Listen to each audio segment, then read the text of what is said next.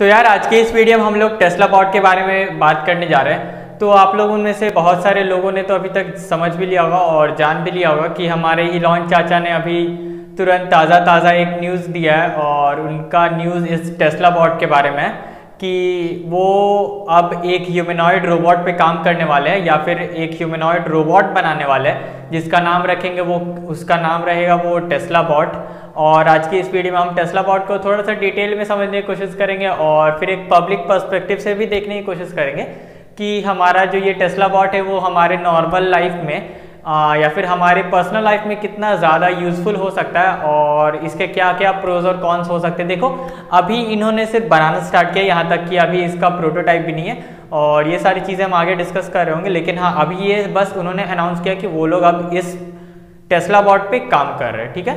तो आज के इस वीडियो में हम लोग इस टेस्ला बॉट को समझते हैं। तो सबसे पहले कुछ स्पेसिफिकेशंस देख लो कि ये टेस्ला बॉट क्या है और क्या नहीं है।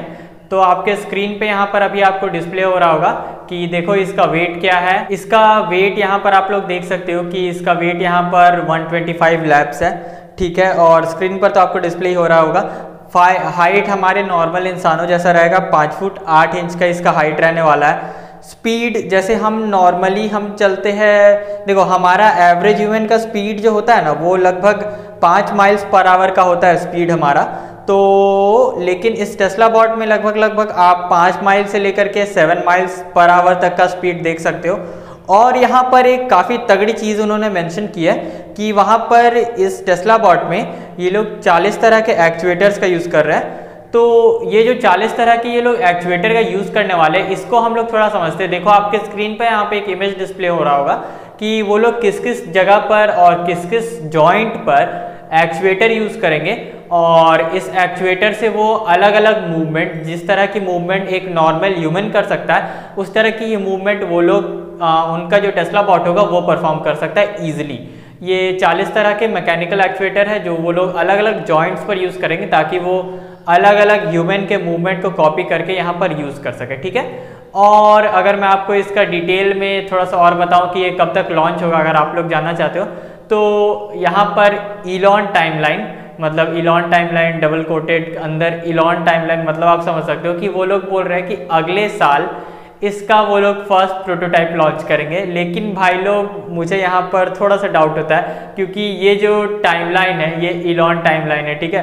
तो यहाँ पर इलॉन भैया का टाइमलाइन मुझे लगता है कहीं और ही चलता है। उनका टाइमलाइन भाई नॉर्मल ह्यूमन के पर्सपेक्टिव या फिर नॉर्मल पब्लिक के पर्सपेक्टिव से काफ़ी अलग रहता है। वो बोलते रहे कि अगले साल लॉन्च करेंगे, लेकिन देखते हैं कि ये कितना जल्दी लॉन्च होता है। अगले साल लॉन्च होता भी है कि नहीं होता है। वैसे भी ये लॉन्च भी होगा तो इसका फ़र्स्ट प्रोटोटाइप लॉन्च होने वाला है। तो बीच में तो आपको कुछ कुछ दिखे रहे होंगे इमेजेस कि यहाँ पर आप क्या क्या इसमें होगा।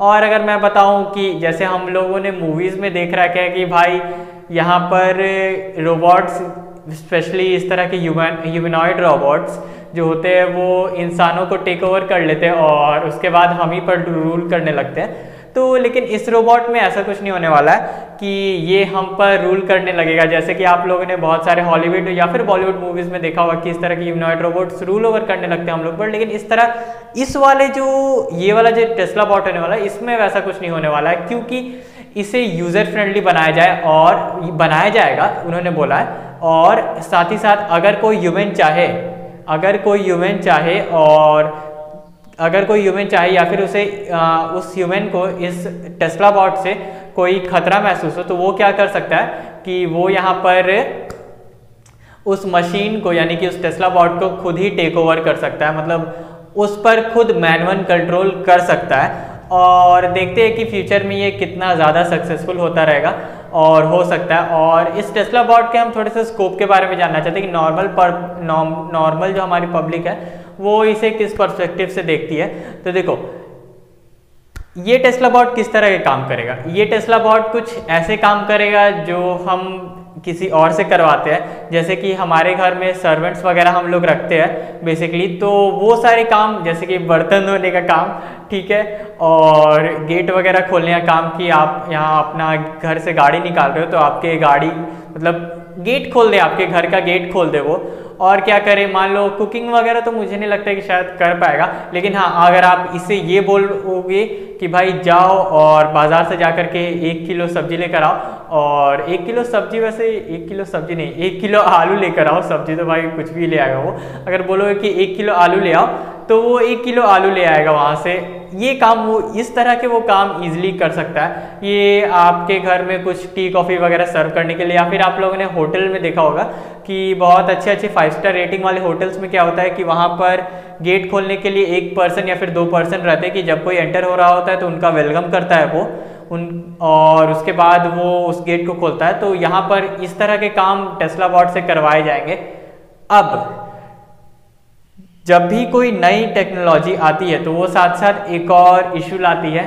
अनएम्प्लॉयमेंट का इशू कि देखो, जैसे कि मैंने आपको बोला कि ये बेसिकली जो हमारे घर में सर्वेंट्स हम लोग रखते हैं उनके काम ये इजीली कर सकता है। तो आप तो बोलोगे कि भाई तब तो ये सर्वेंट का जो भी जॉब है तो वहाँ पर तो इसे टेक ओवर कर ही लेगा और रूल ओवर कर ही लेगा। तो हाँ भाई, ये सही भी है और ये सही भी नहीं भी है, क्योंकि देखो, अभी भी इस ह्यूमनॉइड रोबोट को लगभग 10 साल लग जाएँगे। मुझे लगता है 10 साल शायद मैं कम ही बोल रहा हूँ पंद्रह बीस साल भी लग सकते हैं, मुझे नहीं पता।